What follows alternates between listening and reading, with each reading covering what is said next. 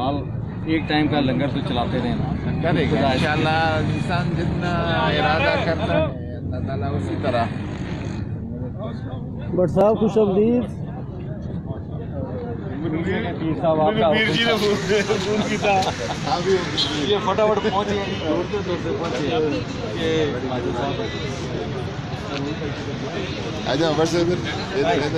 صاحب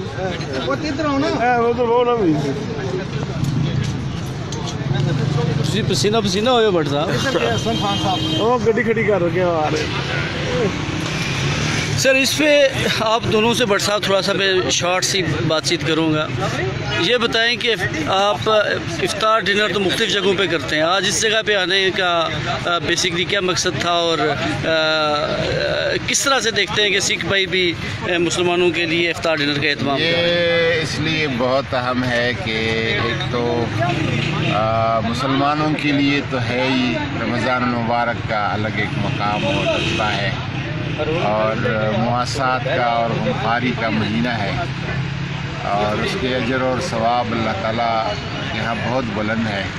لیکن اقلیتوں سے اور پھر سکھ کمیونٹی کے ساتھ بالخصوص انہوں نے جس طرح اس کا اہتمام کیا ہے، انتظام کیا ہے اور بلا تفریق مذہب اور دین اور عقیدے کے ایک انسان کی حیثیت سے، ایک پاکستانی کی حیثیت سے سب آ کر ادھر بیٹھتے ہیں، ملتے ہیں۔ یہ ایک بہت شاندار قسم کی مثال ہے۔ یہ محبتوں کے بانٹنے کا طریقہ ہے اور پاکستانی رشتوں کو مضبوط کرنے کا طریقہ ہے۔ ہم بھی اس میں شریک ہونے کے لیے اور شامل ہونے کے لیے آئے ہیں۔ بڑی خوشی ہو رہی ہے۔ بٹ صاحب کیا جذبات و احساسات ہیں؟ آپ کے بھی آپ چونکہ مختلف تقریبات میں شامل ہوتے ہیں افطار ڈنر کی تو آج کیسے آئے؟ یہاں پہ آپ نے ہمیں بھی انوائٹ کیا۔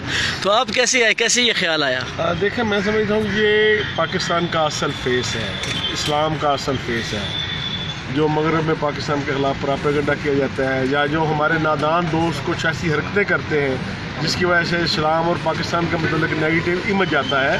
تو یہ ایک سکھ کمیونٹی کی جانب سے مسلمانوں کے لیے روزے کا اہتمام کرنا یہ ایک میسج ہے پوری دنیا کے رہنے والوں کے لیے کہ پاکستان میں اس طرح کی مذہبی رواداری ہے۔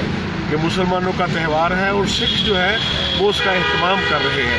اسی طرح جب سکھوں کا تہوار ہوتا ہے تو مسلمان اس کا اہتمام کرتے ہیں۔ تو میرا خیال یہ ہے کہ یہ پاکستان کے حوالے سے پاکستانیت کے حوالے سے اور اسلام کے حوالے سے ایک اچھا میسج جائے گا پوری دنیا۔ بہت شکریہ جی بٹ صاحب۔ جی۔ السلام علیکم. خان صاحب، یہ بتائیں کہ کیا جذبات و احساسات ہیں کیا فیلنگ ہے آپ کی؟ یہاں پہ آپ سکھ کمیونٹی کی ایک افطار ڈنر میں شریک ہوئے ہیں۔ دیکھیں، یہ جو ڈنر ہے، یہ ہمارے سکھ بھائیوں نے تیس دن کے لیے لگایا ہوا ہے۔ یہ کوئی ایک آدھ دن کے لیے نہیں ہے یہ لوگ آ رہے ہیں، جا رہے ہیں۔ آج قاضی صاحب تشریف لائے ہیں، کل کوئی اور صاحب آئیں گے۔ یہ اصل میں وہ محبت ہے، جس میں پوری پاکستانی قوم جو ہے، وہ ایک دوسرے کے شانہ بشانہ جڑی ہوئی ہے اور بیٹھی ہوئی ہے اور اس سے جو محبت کا آفاقی پیغام ہے، وہ ساری دنیا میں پھیل رہا ہے اور جو چیزیں یہاں پہ ہیں کہ یہاں جو انتہا پسندی ہے اور لا تلگی ہے، تو وہ آپ دیکھ لیں عملاً کیا ہے۔ یہ سکھ بھائی ہمارے جو ہیں، یہ خود اپنے طور پہ یہ سارا کچھ کر رہے ہیں اور پورا رمضان کریں گے، انشاءاللہ جو ہے آخری افطاری بھی یہاں پہ ہوگی اور انشاءاللہ ہم اس میں شریک ہوں گے۔ بہت شکریہ جی۔